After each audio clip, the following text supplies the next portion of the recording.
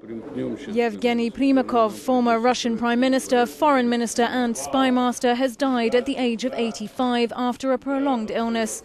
A Kremlin spokesman said President Putin had been informed and was said to be deeply saddened by the news. He began his career in the Soviet era, playing a prominent role in failed efforts to avert the Gulf War in 1991. As foreign minister abroad, he was viewed as a hawk, at home, revered as a statesman and was credited with restoring stability after an economic crash in 1998.